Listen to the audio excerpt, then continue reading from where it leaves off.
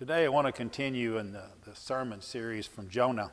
And we're in chapter 4 today. In chapter 4, he goes to Nineveh, and a whole story is here, and you're going to see how he identified with you or how you identified with him and his trip and the rebellion and the things that he does. Let me give you a little description about the city. We mentioned it's a three day journey. The city was 30, it was 30 miles long, so from beginning to end. It was 10 miles wide and it took three days walking across the city. Now, there was a wall around it, and the wall was a 150 foot wall surrounded the city. Uh, it, it could hold three chariots, they could race on top, side by side, and there was 120,000 people in the city. So that's a, a, great witness for the Lord, and a great witness for the Lord to send uh, Jonah but Jonah still went, but he rebelled like you and I do. Let me read beginning in verse 1 of chapter 4. But Jonah was greatly displeased and, and became angry. He prayed to the Lord, O Lord, is this not what I said when I was still at home? That is why I was so quick to flee to Tarshish. I knew that you are gracious and compassionate God, slow to anger, abounding in love a God who relents from sending calamity. Now, O Lord, take away my life, for it is better for me to die than to live. Verse 4 But the Lord replied, Have you any right to be angry? Any right? And Jonah went out and sat down at a place east of the city. There he made himself a shelter. He sat in, in it shade, and he waited to see what would happen to the city. Then the Lord God provided a vine and made it grow up over Jonah to give him shade for his head to ease his discomfort. And Jonah was very happy about the vine. But at dawn, he, the next day, God provided a worm which uh, chewed the vine so that it, uh, it withered. And when the sun rose, God provided a scorching east wind, and the sun blazed on Jonah's head so that he grew faint. He wanted to die, and he said, It would be better for me to die than to live. But God said to Jonah, Do you have a right to be angry about the vine? I do, he said. I am angry enough to die. But the Lord said, You have been concerned about this vine, though you did not tend or make, uh, make it grow. It sprang up overnight and it died overnight. But Nineveh has more than 120,000 people and you, who cannot uh, tell their right hand from their left, and many ca- cattle as well. So, should I not be concerned about the great city? And you and I need to understand that plant is a very important illustration. And you and I can identify when we have to struggle. When we end this great book with 11 verses jammed into the lens, into human uh, predicaments and the divine solution, God has a way, but God's way is not always man's way. God had a reason for Jonah to go to the city, to win the people to, to the Lord, give them a choice. But he even had to deal with a very uh, stubborn person and even showed probably some anxiety and some worry and some depression because he was doing what he didn't want to do, but God used him to win 120,000 people.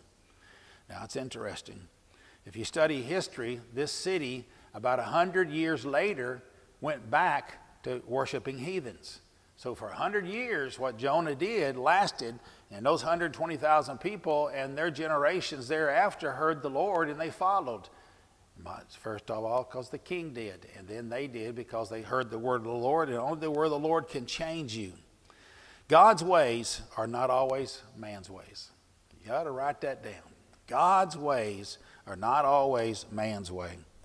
And we often rebel or get angry with God when He doesn't accomplish what we feel that He should do in our lives. Well, this morning the mailman drove by. I was waiting at the mailbox to receive the mail, And I said, Oh, could you take this mail back, please? He says, Why? I said, Well, there appears to be no money or checks or anything in, in, in what you gave me. And we both laughed. And then he said, Well, how do you know? I said, Well, because if it's a lottery, I got to buy a ticket, and I hadn't bought a ticket. Well, there's some people who wants a certain thing to happen, but they're not doing their part. And you need to understand God's not a fool.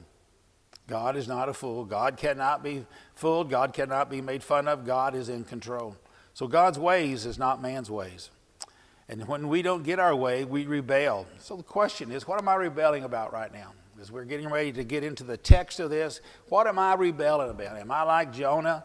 And my rebellion started right when the beginning. I don't want to go there. And then he's still having it, even sitting in the shade.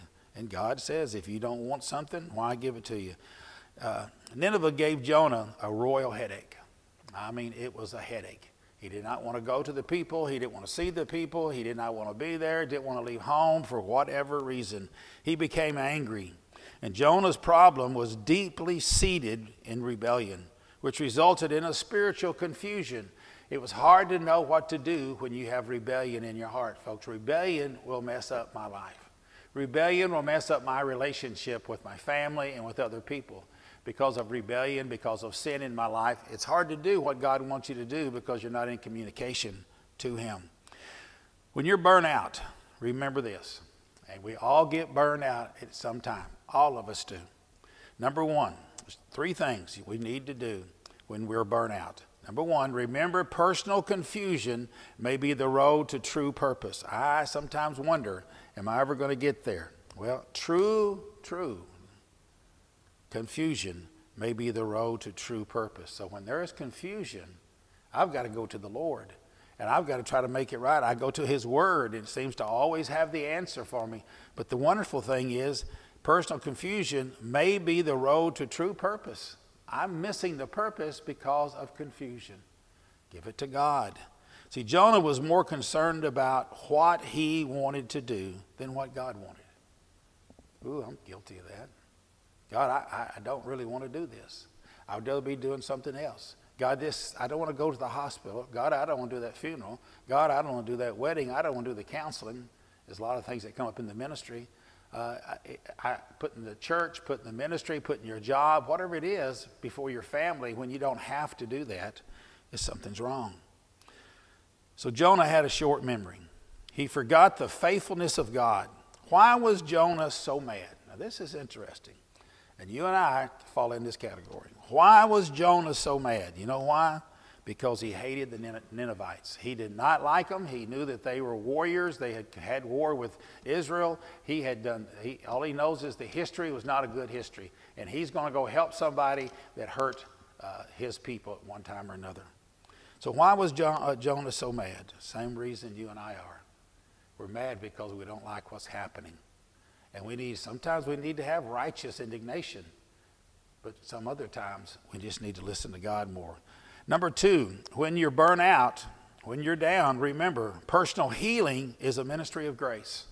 Personal healing is a ministry of grace. Only God can give me grace. Now, grace is unmerited favor.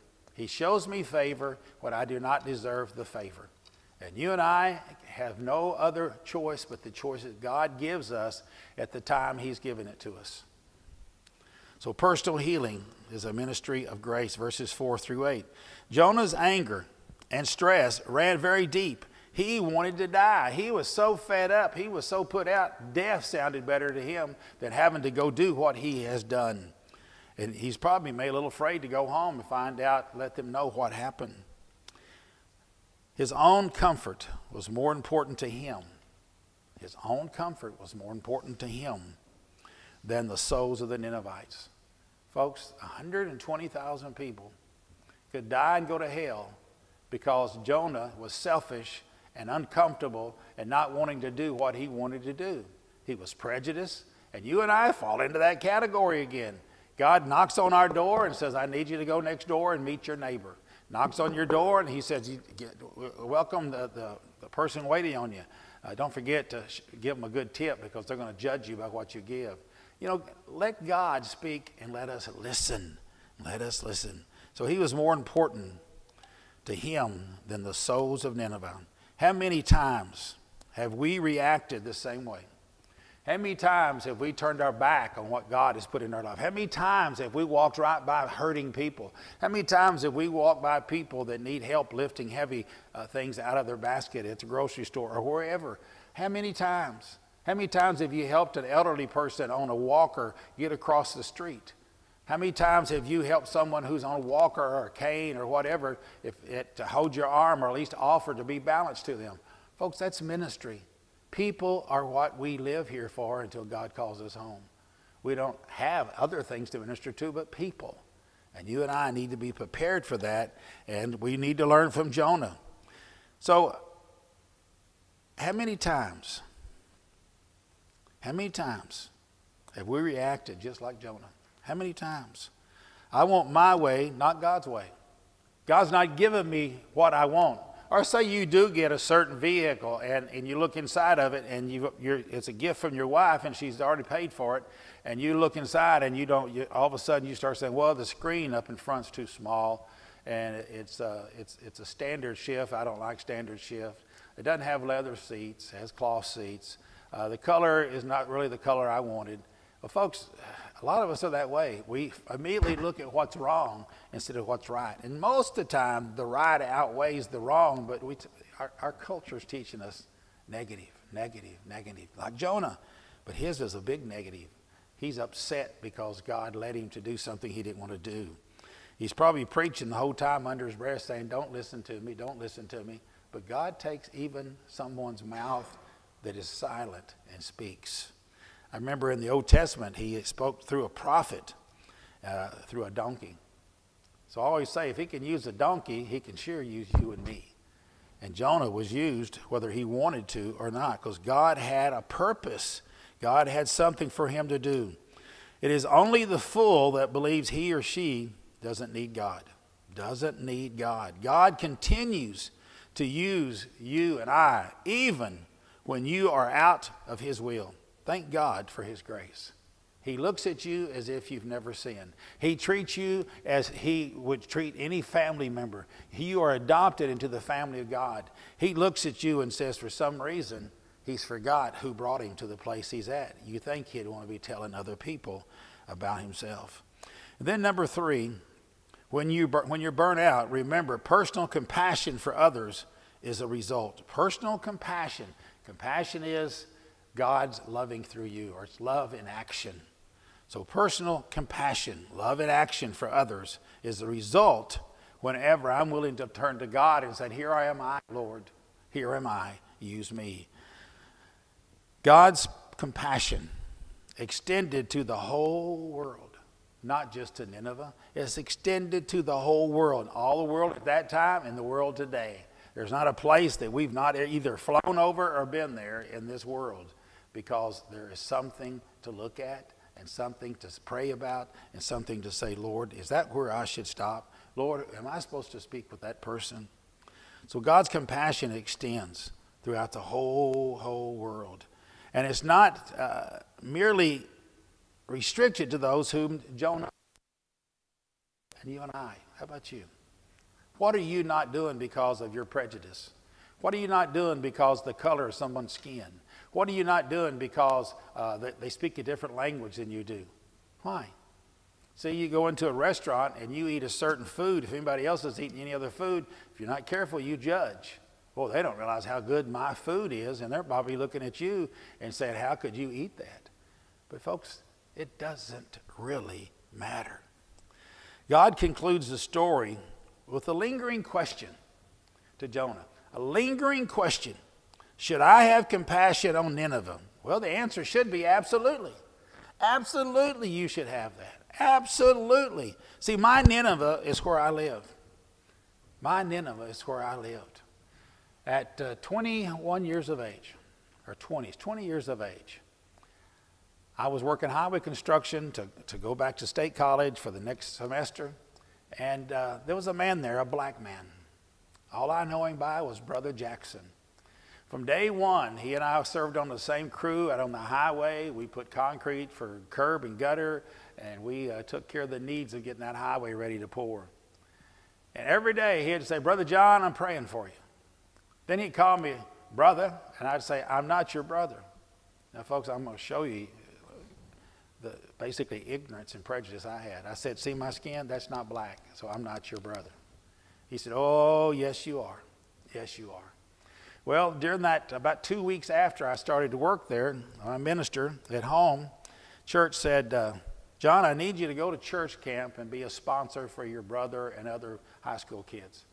And I immediately said, No, I can't. I am working. I have to have the money to go to, to college. He said, Well, would you at least ask your boss? So I don't want to lie to the minister.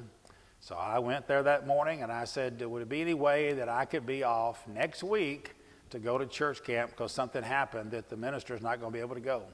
They said, Well, let's, let's talk about it. No, I said, All I want you to do is say no. Because I do not desire to go. I don't know why I, anybody want to go to camp and work with kids like that. And you know what he did? He came back after work that day and he said, We discussed it, and you get to go to church camp and you're going to get paid. And I went, That's not what I wanted to hear. Now, folks, when I came back on Monday after the, the week of camp, I pulled up, got out of the car, began to work, walk over till we get in our working trucks, and I hear a voice Praise the Lord! Praise the Lord! Brother John, I knew God was going to do something. And I looked at him and I said, What are you talking about? He said, I can see it. My prayers have been answered. Every night I went to my prayer closet and I prayed that God would, would touch you, that God would bring healing to your life, that God would take salvation to your heart, and that you would learn the love of Jesus Christ, and He died just for you. And he said, I can see it. And I said, I can see it too. And I feel it too. Because I had to make a big decision because I felt like I had the voice of God saying, John, when are you going to come home? When are you going to serve me instead of the world? I was, for some reason, folks, I said, I'm going to go to Bible college for one semester. I made sure God heard that one semester. Well, I stayed more than one semester. A lot of it had to do with the, the girl that God sent into my life, Marie. But you know, folks, it's amazing. Our prejudice, if we're brought up prejudice, it's still with us if we don't continually work at it. The way to get rid of prejudice is to love the one you feel is unlovable. And that's what Jesus did for you. You and I are unlovable, but he cared enough just for you and just for me. God has first, God has the first and the final word. He rebukes Jonah for loving the plant more than 120,000 Ninevites. What do we love above God? Nobody can answer that but you. What do you love above God? What are you giving God and what energy are you putting in other places more than you're putting with God? I mean, possibly you, you haven't even prayed today. And possibly you don't pray for weeks. Possibly you don't bless your food. I always bless my food because I don't want that to be what chokes me. And you and I need to understand God's hand is mighty. And God's hand is forgiving. God's hand is compassionate. God's hand is comforting, comforting you and me. But the question is, as it was to, it was, it was to Jonah, what do you love, Jonah, above me? What do you love above me? Well, from the beginning, when, when he was called, he already made his mind up because they are the people he's prejudiced against, and they've killed Israelite Israel people before. Who, who do you love? Who would we be if God simply left us to ourselves? Which is a lot of my life I was left to myself because I followed nobody but me and maybe the parents or maybe whoever's disciplinarian around me. But basically, if I'm left all to myself, folks, I will, I will mess my life up is worse than what it was before. Because the Bible says, when you come to know the Lord Jesus and you turn away, it's like a dog returning to its vomit. That's awful sight. Or like a pig returning from a shower, it's gone and jumped back in the mud. And you and I don't want to be that way. We don't want to go back and live worse than we did before because talk about a pain and talk about fear that I would get is because I'm not loving God above everything. The Lord God is first, it says. Who would be, who would we be if God simply left us to ourselves and stopped running? What would happen? What would happen to us if all of a sudden we said, Okay, Lord, not my will, but thine be done? I know in my life, when I was willing to say that, when I said was willing to say, Lord, come pump in my heart, come live in my heart, come live in my blood, take everything about me, God does mighty things. The ministry was the last thing in my life at that time. I had the idea that I'm going to finish college, get my business degree, I have a job waiting on me, I'd be comfortable with that job at the young age of 22, 23, 24, whatever it be, and I could do what I wanted to do and uh, be happily ever after. Well, God had something else. Because at that camp, when God some way put that in my heart, I need to go to Bible college, I went, wow, where did that come from? Because all I could think of, all the reasons why. And you know what? They were all selfish, just like Jonah's was. So God has something for us to do. If anything is more important to you than doing the will of God, you need to come to Him in obedience and say, Lord, not my will, but thine be done. And God is there waiting. He stands at the door and he knocks at your heart. And he's saying, Let me come in and let me live among you and let's, let's go and do the work that God has set me here to do that I've got to do through you. I, I don't know why, but sometimes we have forgotten as we are Christians longer and longer. We have forgotten what our purpose is. We have forgotten because of selfishness and because of jealousy and because of things going on in our life that God didn't, that's not the heart that God wants me to have. He wants me to have a heart of compassion, a heart of love, a heart of serving Him to accomplish what needs to be done. The Lord is coming. There's going to come a day that a trumpet will sound, and every knee will bow, every eye will see, and every tongue will confess that Jesus Christ is Lord. Now, folks, that's going to be a closing miracle. Because as He closes out our life here, He's doing it by taking us to be with Him for eternity. Now, I can read what the Bible says, but I really can't visualize what it's going to be like. I've seen pictures, but I don't know if that's what it is. All I know is in a twinkling of an eye, he's going to take me. Let's learn from Jonah. And let's stop being rebellious. Let's talk to our neighbors. Stop being rebellious and said, my way or the highway. Why not God's way is the best way? God bless. And let's, let's close with prayer. Father, we love you and thank you that you love us you give us Jonah as an example. I believe this is a true story that you used a human being to accomplish great things. 120,000 people turned their life over in the whole city. And Lord, how many generations before they turned their back on you, which had to come because they turned away from you? And Lord, lay some soul upon our heart and touch that soul through us. Lord, we don't do the winning, you do. We just go plant the seeds. And Lord, thank you that we can be seed planters and do farming for you. And it's in Jesus' name we pray. Amen.